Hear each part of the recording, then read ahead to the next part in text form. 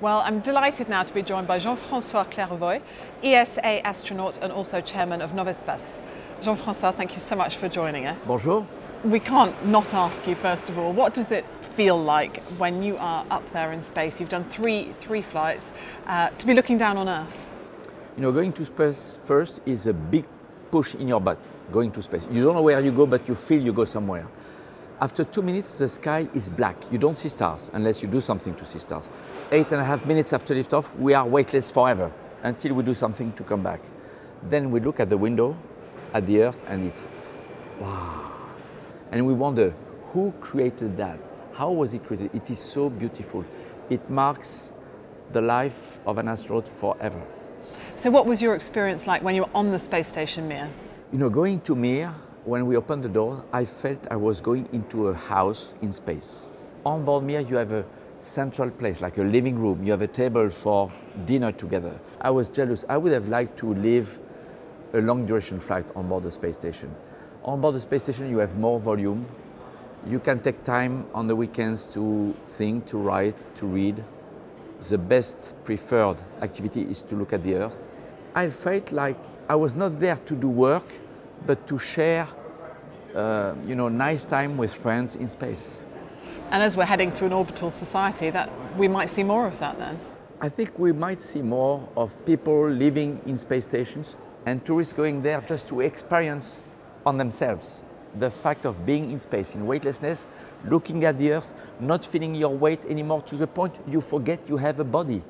You look down, oh, I have legs. So we, we'll see more, but it will take a bit more time still. And as we talk about weightlessness, maybe you could tell us a little bit what the current focus with Novespace is at the moment. Novespace is a private company. The main shareholder is a French space agency. We created the brand Air Zero G, like a name of an airline company, with which we fly private flights, five, six flights, eight flights a year maximum. We mainly fly for science. Our plane is a research laboratory. It is like a mini ISS flying weightlessness by a short period of 22 seconds. And sometimes even company uh, by a flight, like the champagne company Mumm in France. They ordered a flight last month to fly with Usain Bolt, the fastest man on earth, to demonstrate a champagne for weightlessness. And I, I, I raced under moon gravity in the plane with Usain Bolt and he won, of course. Well, yeah, it was maybe not a fair contest. You mentioned research. What areas of research do you conduct? In weightlessness, all fields of science are interested. Fluid physics, material science, combustion physics, chemistry, physiology, biology, vegetal, animal, human uh, medical research, astrophysics, nuclear physics, in any field of science, you can find a phenomenon that is interesting to study in weightlessness because it is masked by gravity when you are on Earth. So we are, we are also uh, incubator for innovation and new ideas for research. As we talk about innovation, what do you think that the future of human spaceflight and exploration looks like? The next step in human exploration is still research on board ISS. I believe we will go to Mars in the late, in the mid or late 30s, not landing, just going around, coming back.